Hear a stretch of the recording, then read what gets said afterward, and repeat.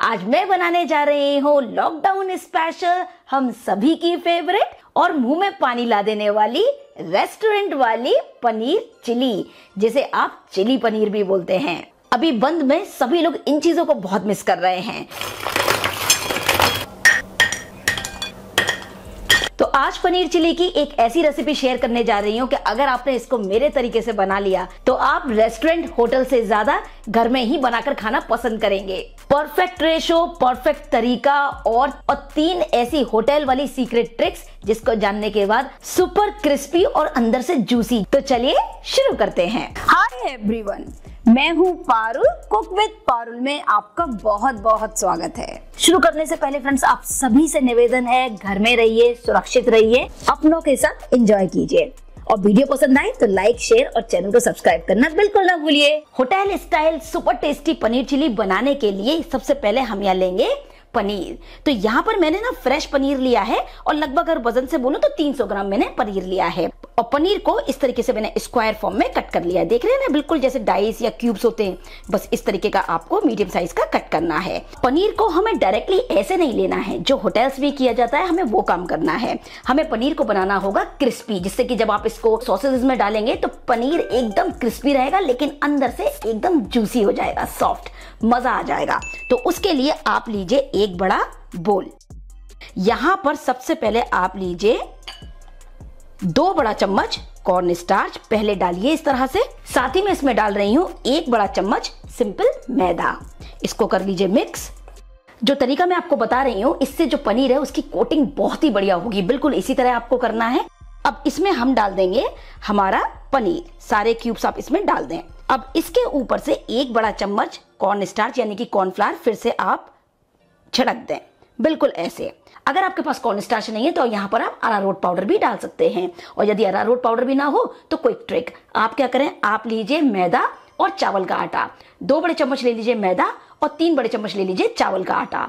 तो मैदा और चावल का आटा मिला करके इसमें बढ़िया से क्रिस्प आ जाएगा और बिल्कुल वैसा ही काम करेगा जो भी कॉर्न स्टार्च और मैदा करेंगे।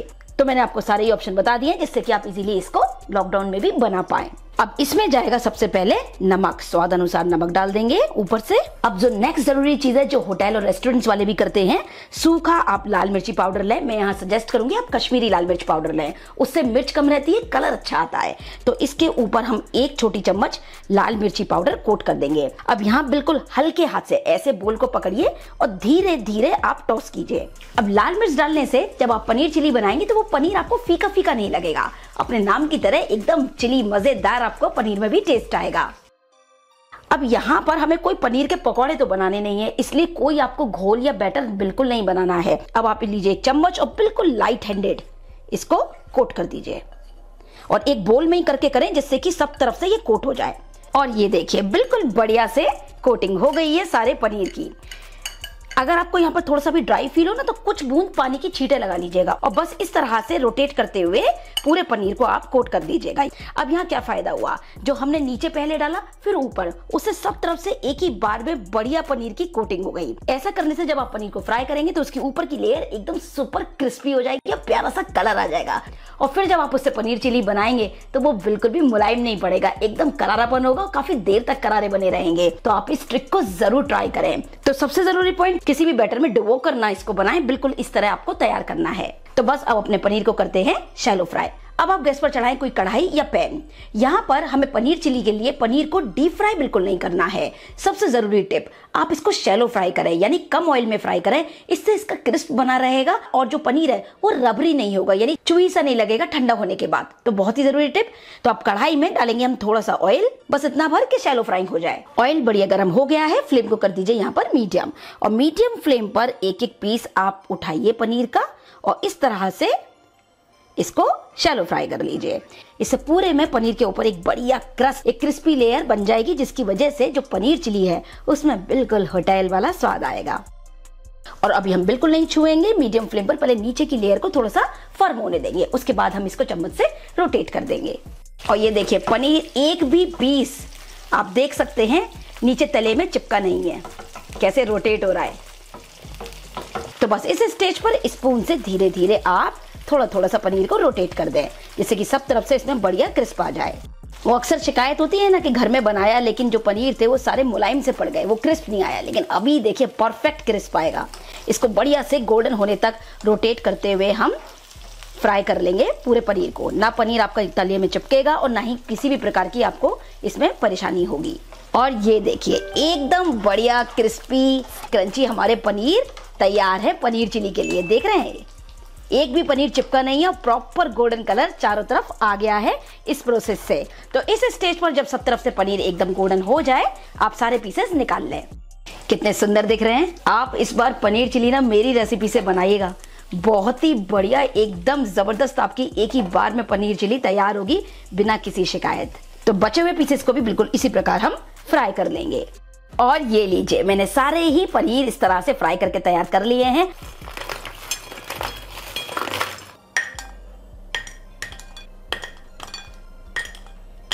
आप एक एक पनीर का पीस देख सकते हैं, एकदम क्रिस्पी और क्रंची तैयार हुआ है।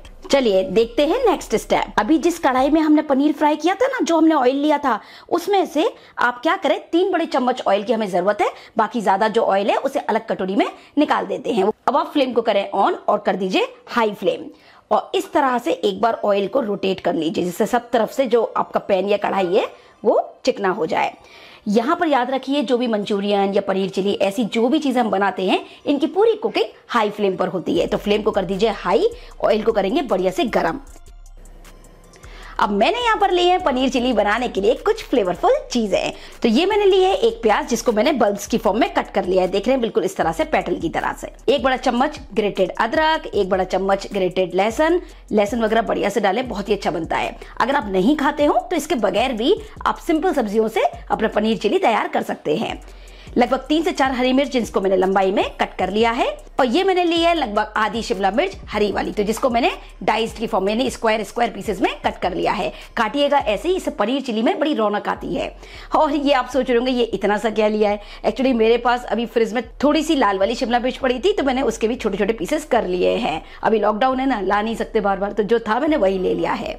आपके पास इनमें से कोई भी ऐसी चीज़ जो घर में ना अवेलेबल हो, उसके बगैर भी आप इसको बना सकते हैं। ऑयल हो गया है, बिल्कुल बढ़िया गरम। अब सबसे पहले इसमें हम डालेंगे अदरक, लहसुन और स्लिटेड हरी मिर्च। हरी मिर्च वगैरह कम ज़्यादा आप अपने अनुसार कर सकते हैं। अब हाई फ्लेम पर फटाफट से हल्का सा सोटे करेंगे। फ्लेम को हाई रखें और उसमें जल्दी जल्दी सभी चीज़ें आप सोटे करें। इससे स्मोकी फ्लेवर आ जाता है रेसिपी में। और इसी स्टेज पर आप इसमें डाल दें कुछ सेकंड बाद हमारी प्याज और प्याज को भी हल्का सा स्टर फ्राई कर लेंगे। यहाँ हमें याद रखना है, जो भी वेजीज हम डाल रहे हैं, उनका क्रंच बना रहे हैं, मुलायम नहीं पड़नी चाहिए। और इसी स्टेज पर मैं डाल रही हूँ उसमें दोनों शिमला मिर्च। लगभग एक मिनट बाद और इसी स्टेज पर जब हमारी शिमला मिर्च हल्की सी सोटे हो जाए, इसमें हम डालेंगे आधा छोटी चम्मच काली मिर्ची पाउडर। और आधा छोटी चम्मच नमक। नमक आप देख कर डालें, क्योंकि जो सॉसेजेस हम इसमें आगे डालने वाले हैं, उनमें भी नमक होता है, और जो पनीर हमने तैयार किया है क्रिस्पी उसमें भी हमने नमक डाला था। तो ये आप देख लें कि कितना नमक डालना है। अब सब्जियों का कच्चापन निकल गया है, और बढ़िया क्रंच आ गया है। तो बस इस स्टेज पर मैं डाल रही हूँ थोड़ा सा स्प्रिंग अनियन ग्रीन घर में अगर हरा धनिया हो ना तो इसकी जगह आप ज़्यादा सा हरा धनिया डाल लीजिएगा। आपका काम बन जाएगा, बढ़िया लगेगा। अब आप फ्लेम को थोड़ा सा मीडियम हाई कर दीजिए। और इस स्टेज पर इसमें हम डालेंगे एक बड़ा चम्मच सोया सॉस। सोया सॉस से बहुत ही बढ़िया फ्लेवर आता है। और यहाँ पर मैंने डार्क सोया सॉस ली है इसलिए मैं एक बड़ा चम्मच डाल रही हूँ। आपके पास अगर दूसरी वाली हो ना, वो आप थोड़ी ज़्यादा भी डाल सकते हैं। कलर आप पहले देख ले, एक साथ ज़्यादा मत डालिएगा। दो बड़ा चम्मच रेड चिली सॉस अब भाई पनीर चिली बना रहे हैं तो इसका डालना तो बनता है। और रेड चिली सॉस को भी अच्छे से कर देंगे मिक्स और फ्लेवर को बैलेंस करने के लिए मैं इसमें डाल रही हूँ दो बड़े चम्मच टोमेटो केचप आपकी चॉइस है, कम, ज़्यादा, जिस हिसाब से आप डालना चाहें वो डाल सकते हैं। और सारी सॉसेस इसको बढ़िया से कर लेंगे मिक्स और यहीं पर मैं इसमें डाल रही हूँ आधा छोटी चम्मच सफ़ेद सिरका, यानी कि व्हाइट विनेगर हो तो डालिएगा, नहीं हो तो कोई बात नहीं। वैसे भी जो हमने इसमें सॉसेजेस डाली है ना, उन सब में पहले से ही विनेगर होता ही है। तो इसके बगैर भी आपका काम चल जाएगा। मैं सारी चीज़ें आपको बताती जा रही हूँ, जिससे कि आप अभी की कंडीशन में भी इसको बढ़िया से बना पाए। अब ये देखिए नेक्स्ट चीज़ यहाँ मैंने लिए एक छोटी चम्मच कश्मीरी लाल मिर्ची पाउडर तो इसमें आप डालिए थोड़ा सा पानी और इसका एक घोल बना लीजिए। ये बहुत ही ज़रूरी है, इससे जो लुकिंग फ्लेवर आपकी पनीर चिली में आएगा, बिल्कुल होटल जैसा है। यही होटल वाले करते हैं। अब जैसे मान लीजिए आपके पास रेड चिली सॉस नहीं है घर में तो यही वाला घोल आप थोड़ा ज़्यादा बना के वो भी डाल सकते हैं तो वो रेड चिली सॉस जैसा काम कर जाएगा।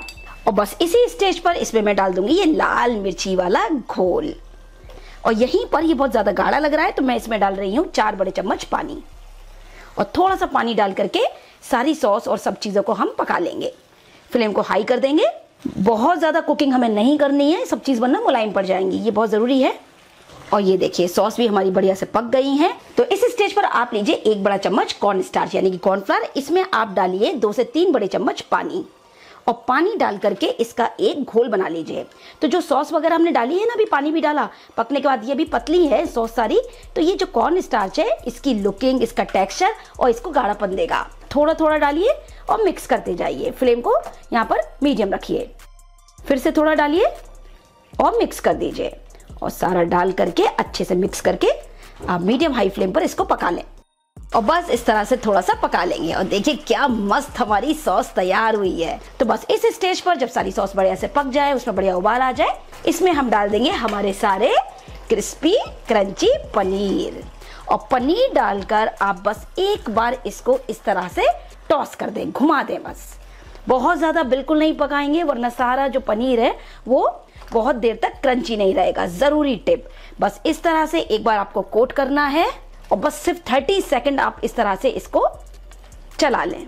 ये देखिए, हुई है ना एक एक ज़बरदस्त वाली कोटिंग, आप एक एक पनीर का पीस देख सकते हैं।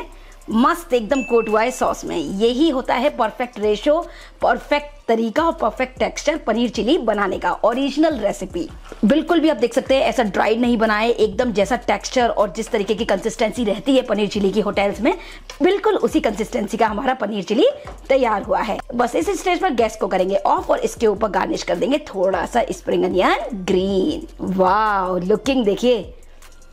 जितना देखने में सुंदर, खाने में तो इतना मस्त कि आपको मज़ा आ जाएगा इसे बना करके। अब होटल में तो बहुत ही महँगा मिलता है, घर में बनाना सस्ता भी पड़ता है और आप इसको बहुत ही अच्छी रेसिपी के साथ तैयार कर सकते हैं। तो बस इस लॉकडाउन में ही घर में ही बनाइए होटल वाला पनीर चिली और सबको दीजिए इस पनीर चिली का सरप्राइज़ जो भी खाएगा वही तारीफ़ करेगा। तो चलिए फटाफट से करते हैं इसको सर्व और ये लीजिए बिल्कुल तैयार है, हमारा ज़बरदस्त टेस्टी होटल और रेस्टोरेंट वाला पनीर चिली। या फिर आप इसे चिली पनीर भी बोल सकते हैं। अब जैसे ये तो मैंने बनाया है ड्राई चिली पनीर। अगर आपको ग्रेवी वाला चाहिए हो ना तो वो जो सॉस बनाई थी, उसमें पानी की मात्रा बढ़ा लीजिएगा तो आपका ग्रेवी वाला पनीर चिली तैयार हो जाएगा। जैसे कि अभी आप देख सकते हैं कि पनीर एकदम क्रिस्पी दिख रहा है और सब तरफ़ से सॉस से कोटेड है। जिस तरीके से मैंने ये पनीर चिली बनाया, आप ज़रूर बनाइएगा, बहुत ही बढ़िया लगेगा, सब तारीफ़ करेंगे। और लॉकडाउन में तो इसे पक्का बनाइए, आप होटल को बिल्कुल मिस नहीं करेंगे। मस्ट ट्राई रेसिपी है फ्रेंड्स ज़रूर बनाइए और मुझे अपने प्यारे प्यारे कमेंट्स में ज़रूर बताइएगा कि आज की ये स्पेशल होटल वाली पनीर चिली की रेसिपी आपको कैसी लगी? और अगर आप बनाए तो प्लीज़ प्लीज़ उसकी एक पिक्चर मेरे साथ इंस्टाग्राम पर ज़रूर शेयर कीजिएगा। तो ये लीजिए, बिल्कुल तैयार है हमारा होटल रेस्टोरेंट वाला पनीर चिली। इससे पहले भी मैंने आपके साथ बहुत सारी मंचूरियन की रेसिपी शेयर की हुई है, जैसे कैबेज मंचूरियन, आलू मंचूरियन, गोभी मंचूरियन, सोया मंचूरियन, आप उन सबको भी ज़रूर ट्राई करें। सभी वीडियोस का लिंक मैंने नीचे डिस्क्रिप्शन बॉक्स में दिया है। उम्मीद करती हूँ वीडियो आपको पसंद आया होगा। अगर आपको वीडियो अच्छा लगा है फ्रेंड्स तो प्लीज़ प्लीज़ प्लीज़ ढेर सारे लाइक कीजिए। सभी फैमिली फ्रेंड सोशल साइट्स पर शेयर करें और मेरे चैनल को सब्सक्राइब करना ना भूलें। इसी तरह अपना प्यार मुझे इंस्टाग्राम फेसबुक पर भी ज़रूर दें। सभी रेसिपीज़ की डिटेल्स आप मेरी website cook with Parul dot com पर देख सकते हैं। Thank you for watching cook with Parul जय हिंद, जय भारत।